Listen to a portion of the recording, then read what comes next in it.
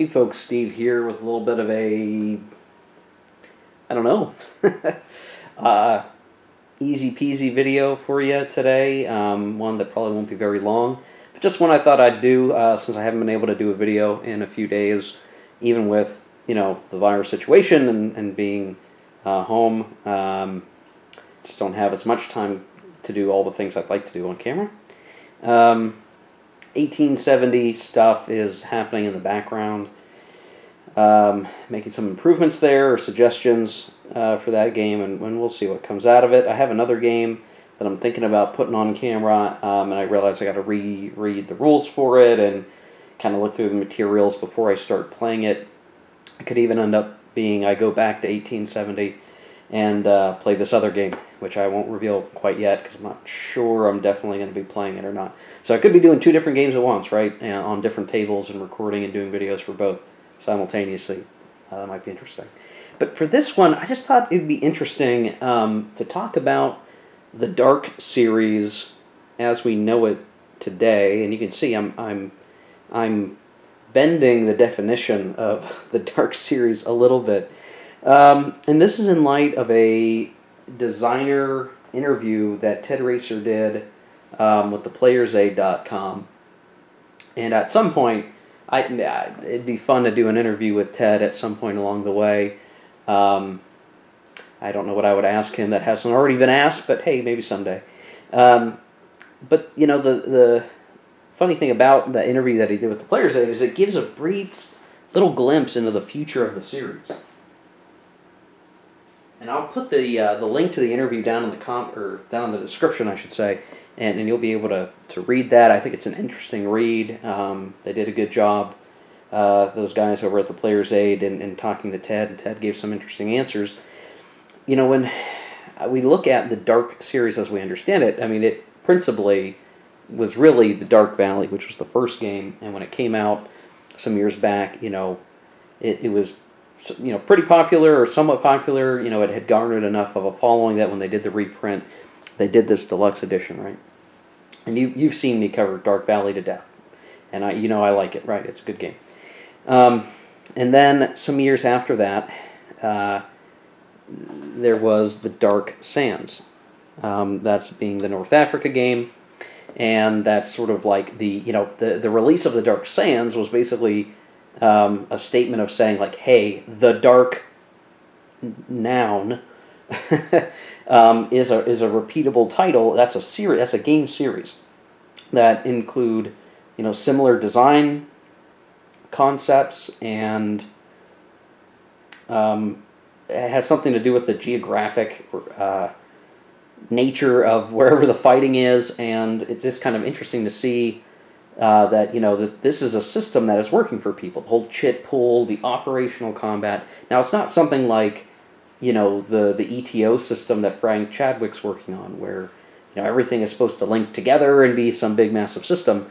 This is instead, you know, Ted is looking at a particular subject at a, at a specific geographic area, and he's doing an operational game on that, and including you know specialized rules for that specific conflict that won't necessarily be in each game in the series. Now, something I've chosen to do is include Case Yellow 1940 in the series. Now, this is a game that came out back in 2011. I believe it only got the one printing. I, I purchased my copy pre owned. Pretty sure it's got all the counters. I'm, I'm reasonably confident. And I haven't played it yet. And something I'm thinking about is, you know, as I've covered the Dark series up to this point, right? I did a full playthrough of the Dark Sands because I got that first, and and I enjoyed that. I did a review. Um, you know, I'm looking forward to you know if they ever do a, a Dark Sands reprint, it getting a deluxe edition because I think it could really benefit from it, and it's a game that probably deserves a better treatment. But the the Case Yellow game came out a while ago and is technically not part of the Dark series. Technically, right? There's no Dark in the name. However, um, looking at the game's design and, and looking at what's in the game, and you can see it, it is basically the invasion of uh, the Low Countries and France. Basically, if I were to call out, you know, what is the, what is the game covering? What are you doing?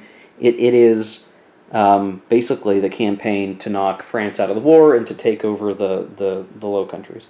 Um, and even if you could say like there's some parts of this game, it, it seems like where it's like, well, if you play the historical scenario, it's it's balanced against the allies, but there there are other scenarios in the game that allow allow you to play out different situations, which makes it, I think, uh, worthwhile to play.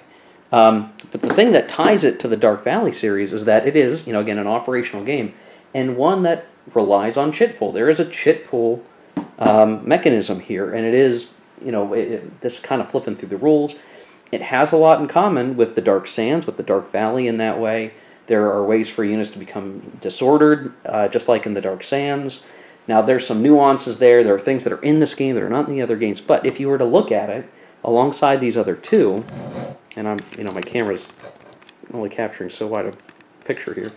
Um, I definitely see it as connected to these games. Like it, it, it is a dark game before the dark series became a thing, right? Um, and, and it's Case Yellow 1940, the German Blitzkrieg in, in the West. Now, what I think would be really interesting is if GMT could be convinced to do a reprint of this game, right? So, you know, hey, Dark Valley got reprinted, got deluxe edition. Maybe the Dark Sands will get reprinted, it'll get a deluxe edition. It would be very cool if Case Yellow got sort of a um, an updated treatment. You know, it got a once over by Ted on the rules and, and incorporating whatever errata might be out there, maybe sprucing up a few things, whatever, however you want to look at it. But the benefit of this being then you could you could retitle it and really bring it into the dark fold and call it I've joked, I've joked, and it's like it's like a bad joke, a terrible joke, Steve. Say, aha, the dark yellow. You know, it's it's a joke about things being yellow, um, and you can. I'll let your imagination run wild, but um, bad joke, Steve. Case Yellow 1940. You could call it something else, right? You could still call it KCL Yellow 1940, right? That's sub you know East Front 1941, 1945, and say, hey, KCL Yellow 1940, and you could call it, um, I don't know, the the dark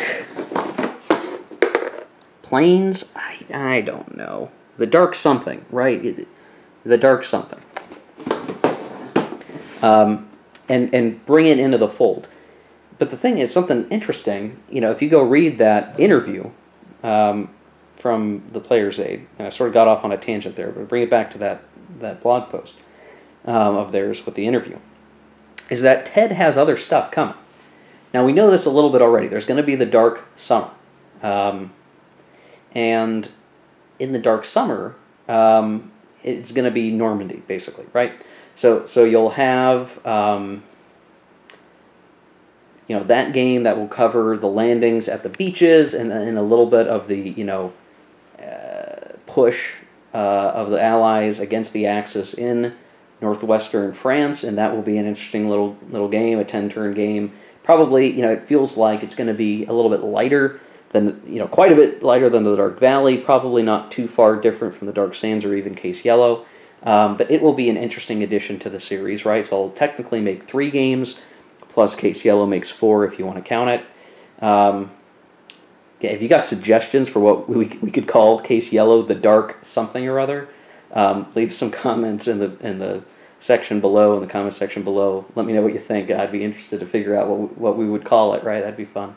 Uh, make a suggestion to Ted and GMT to, to give this uh, another print. You know, nine years later, almost ten years later. Um, so so then what comes next, right? So so Dark Summer's coming. Um, it looks like it's probably mostly being done design. So what comes next?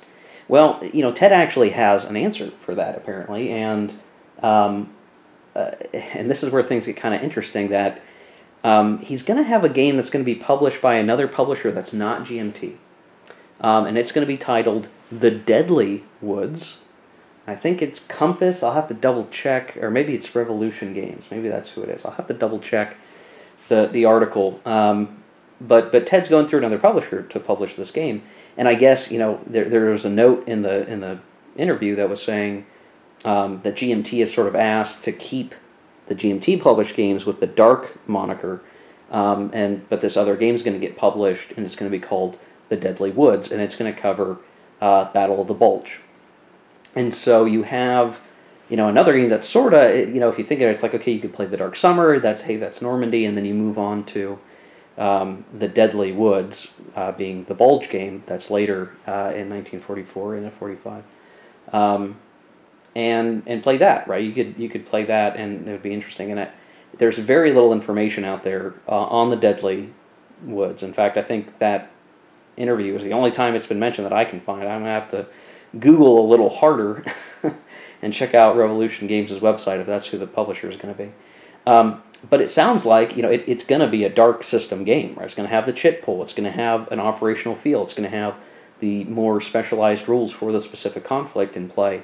Um, and so, you know, it's almost like I have to start calling this the Dark and Dead- Deadly series, right? The Dark and Deadly, um, which is like it sounds like a, a D&D game or something, you know, a D&D retro clone, if you know what that is.